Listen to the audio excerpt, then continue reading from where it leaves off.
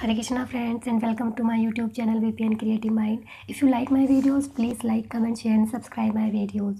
आज मैं आपको फलहार व्रत का खाना बताने जा रही हूँ पनीर रोल्स पनीर खाना सभी को खाना बहुत पसंद होता है इसीलिए आज मैं आपके सबके लिए एक स्पेशल रेसिपी लेकर आई हूँ फलहारी पनीर रोल्स इसे बनाएँ ज़रूर। बनाने के बाद हमें कमेंट करके बताएँ कि आपको ये रेसिपी कैसी लगी। पनीर रोल्स बनाने के बाद आप इसे हरी चटनी के साथ खाएँ। ये खाने में ज़्यादा स्वादिष्ट लगते हैं। आप एक बार हमारा डिस्क्रिप्शन ज़रूर चेक करें। डिस्क्रिप्शन में रेसिपी दी गई है और वहाँ पर कुछ लिंक भी दिए गए हैं जहाँ से आप रेडीमेड फलारी प्रोजेक्ट प्रोडक्ट्स ले सकते हैं। पनीर रोल्स बनाने के लिए जो इंग्रेडिएंट्स चाहिए वो इस प्रकार है। एक कप कुटू का आटा हाफ़ टी स्पून अदरक, बारीक कटा हुआ half teaspoon green chilli एक चम्मच धनिया बारीक कटा हुआ, नमक स्वादानुसार, काली मिर्च और एक कप पनीर, थोड़ा सा पानी।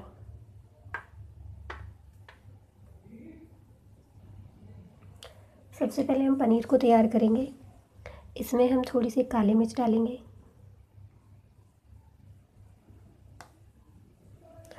और थोड़ा सा नमक।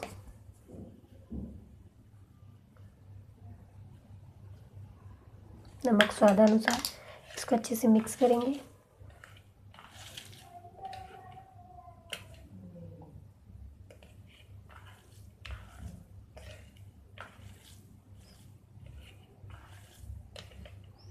अब हम इनको अच्छे से मिक्स होने के बाद इसको इस तरीके से करके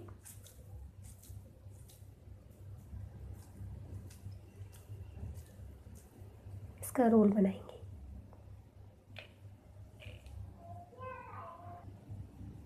अब हम कुट्टू का आटे का घोल तैयार करेंगे। सबसे पहले इसमें कुट्टू का आटा डालेंगे। अब इसमें धनिया, बारीक कटा हुआ, ग्रीन चिल्ली, अदरक। नमक स्वाद अनुसार डालेंगे हम इसमें।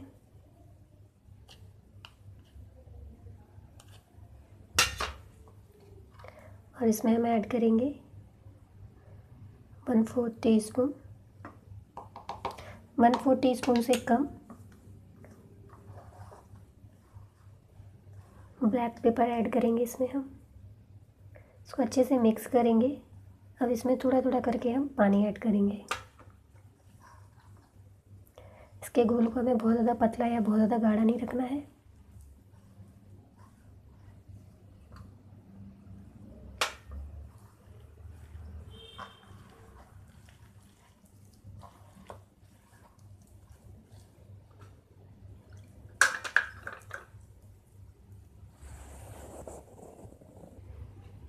घोल बन के तैयार हो गया है।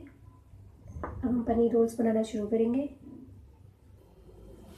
आप फास्ट के लिए जो भी ऑयल यूज़ करते हैं, वो इस्तेमाल करें। अगर आप देसी घी खाना पसंद करते हैं तो देसी घी लें।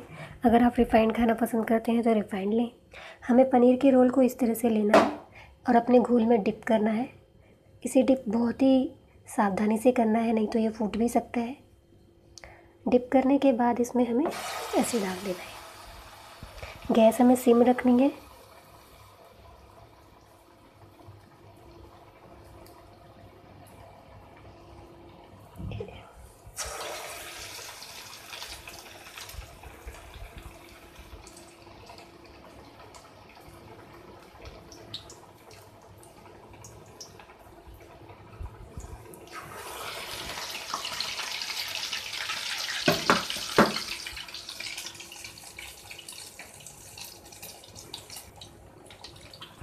आपको इन्हें डीप फ्राई करना है। जब ये एक साइड से अच्छे से हो जाए तो आप इन्हें इससे बदल लें, पलट लें, ताकि ये दूसरी साइड से भी सीख जाए।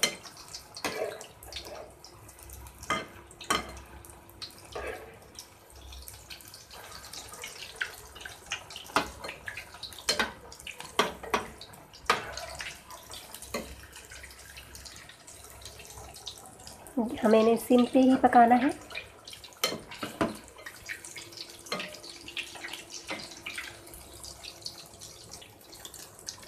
पनीर रोल्स बनके तैयार हो गए हैं। अभी इन्हें हम प्लेट में निकाल लेंगे।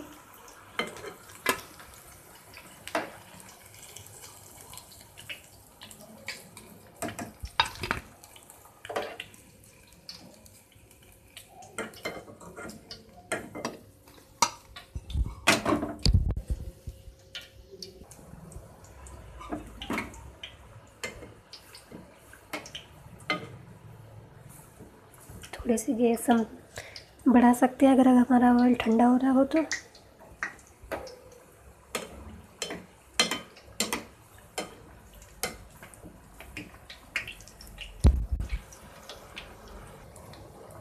एक तरफ़ से अभी थोड़े से गैस को हम सिम करेंगे, एक तरफ़ से थोड़े से सीख गए तो हम इन्हें पलट देंगे।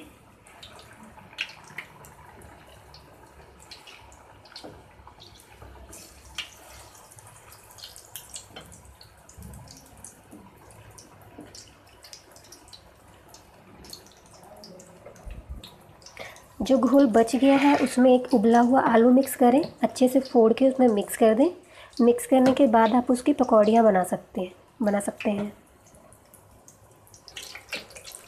ये पनीर रोल्स भी हमारे तैयार हो गए हैं। गैस को हम बंद कर देंगे। और इसमें से रोल्स को बाहर निकाल लेंगे।